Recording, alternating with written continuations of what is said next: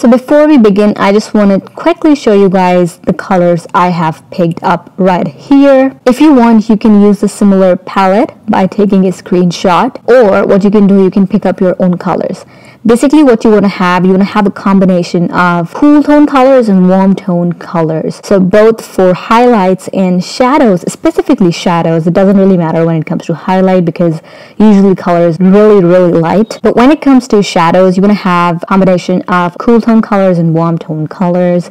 And for both of the highlights and shadows, you want to move from red to orange and that's how I pick up my color. So the good rule of thumb would be to pick up one really desaturated cool tone kind of shadow and two warm tone kind of shadows and another shadow which is cool tone. And the color for the blush depends totally on you. You can use any kind of blush. I actually picked up this orangish kind of color. Even if you have one cool tone shadow one warm tone shadow and one highlight color and one blush color you're good to go so to start off with, I drew this circle. I'm choosing this color and I'm just going to fill the circle in with this color. So if I was painting skin, I would take this color as my base color. So basically this is, if you're painting skin, if you're painting a portrait, pick up your base color. So I picked up the second color to be my base color. So I'm just going to fill this in and come back. So here I am going to be adding each and every color in the similar order they are I have placed them in. So you don't have to worry about it being perfect or not. Right now you just have to worry about the placement of it. So that's what I'm doing. I'm just placing all these colors just really randomly, but in the order I have placed them in, the palette, for the palette.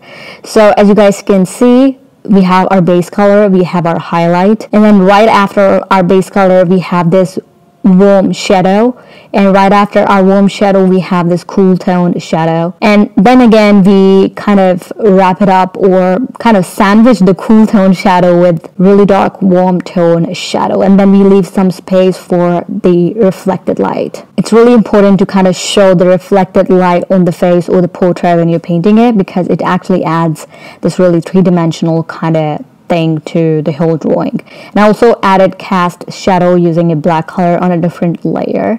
Now here I picked up smudge brush. Now you want to make sure you're picking up smudge brush because there's a huge difference between smudge brush and colorless brush. And if you don't know what it is, watch my video I've like created in-depth tutorial kind of thing on the difference between the both But here you want to pick up smudge brush. Make sure the opacity is really, really low. Now, in the first go, you want to blend it really lightly as I'm doing here. So the key when you are blending colors for skin is to make sure you're not blending everything out because you want to kind of maintain a good balance between harsh and soft shadows. It cannot be completely soft and it cannot be completely harsh. This is the rule you want to keep in your head whenever you're painting skin. So I also blended the cast shadow as well and yeah because everything was looking so blended out the second step is to actually put some color back in. So I started with a blush color because I didn't actually add blush initially and that's what you want to do. You want to add it later on. You can add it earlier also it depends it totally depends on you but I kind of like to add it later on the similar thing I'm doing with the highlight as well, adding more of it and not blending it out at all and picking up a even lighter color of the highlight color that I have in the palette and adding this little dot which I kind of wanted to be harsh and that's the reason why I'm not blending it out. That's the same thing I do when I'm actually painting a portrait.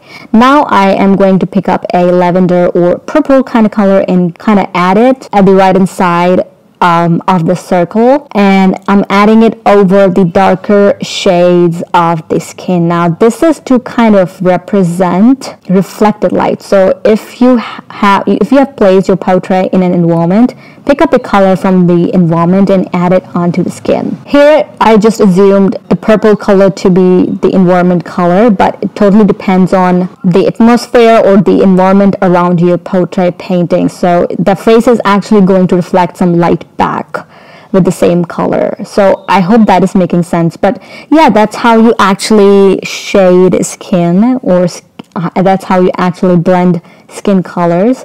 It's really easy and I do have tutorials on skin shading like where I have actually shaded a face so I will link all those down below. But I have changed my process a little bit so I might update my tutorials as well really soon. But I really hope you guys enjoyed this video and found it helpful.